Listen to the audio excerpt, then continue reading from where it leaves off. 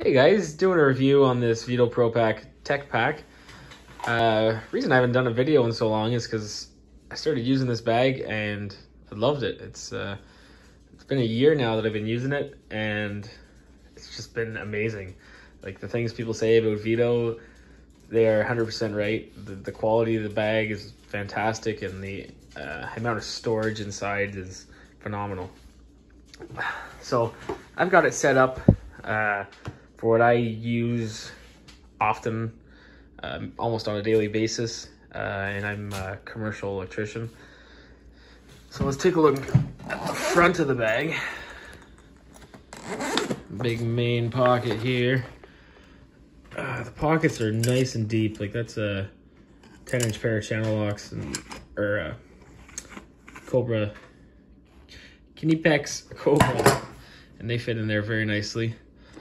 Uh, I can fit one, two, three, four, five, six, seven, eight, nine, ten screwdrivers here with ease, and still have room here uh, and behind, and it's it's phenomenal. And some of these are super super long screwdrivers, and uh, they still fit down there nicely, and you still have access to the pockets on top.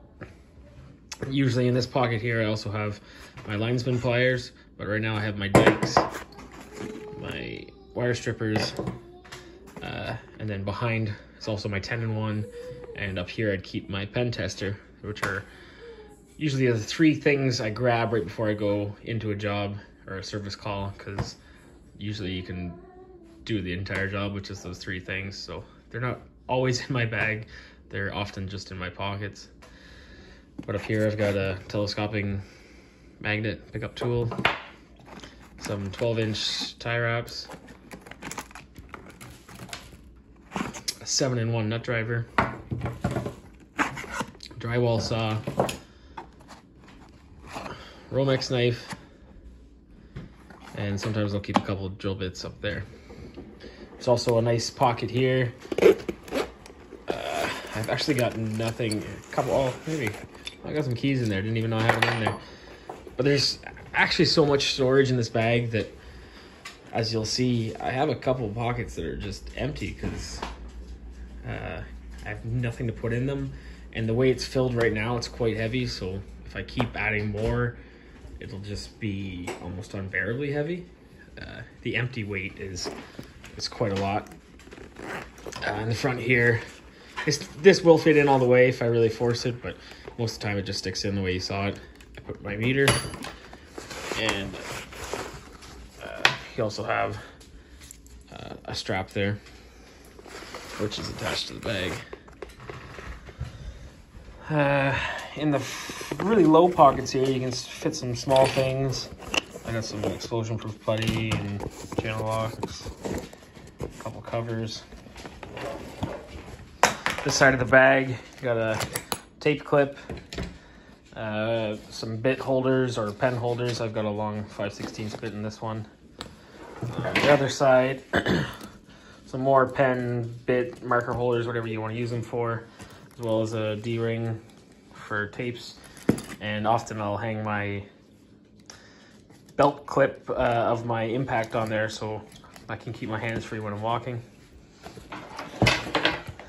Now let's take a look at the back.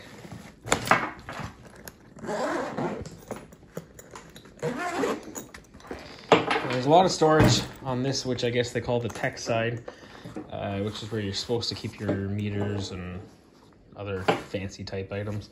But in here, I've got, in the back pocket, I've got two drill bit cases, which are right now holding uh, impact bits. And in this one, I've got spade bits and other other drill bits. But you could also throw a little parts container or something if you wanted. It's really deep, really wide. Also got a headlamp in there. And there's a smaller uh, see-through zipper pocket, which is, again, nice and deep and big. a couple anti shorts, uh, some crimpers for Cat 5, uh, breaker finder, two pairs of tin snips, a level, which is broken, and a new one. adjustable wrench, pair of vice grips, a plug tester, and a bunch of wrenches. I don't use these very often, but when I need them, they're good to have down there. Up top, you got uh, really small and elasticy uh, bit holders, and then a wide pocket up here, which I usually keep my uh, smaller wrenches, the more the ones I use more often, like uh, quarter inch up to 9 sixteenths, and then a 10 mil because you never know when you're gonna need a 10 mil. Uh, all these pockets on this side are all the stretchy style. Uh, sorry, on this right side of the back side are all the stretchy style, and then these three here are just the regular kind. so as you can see, it's uh, been a year with this bag, and it's it's held up amazing. Uh, no rips, tears, all the zippers still move smoothly. Uh, highly recommend this bag. It's the Veto Pro Pac Tech Pac. Thanks.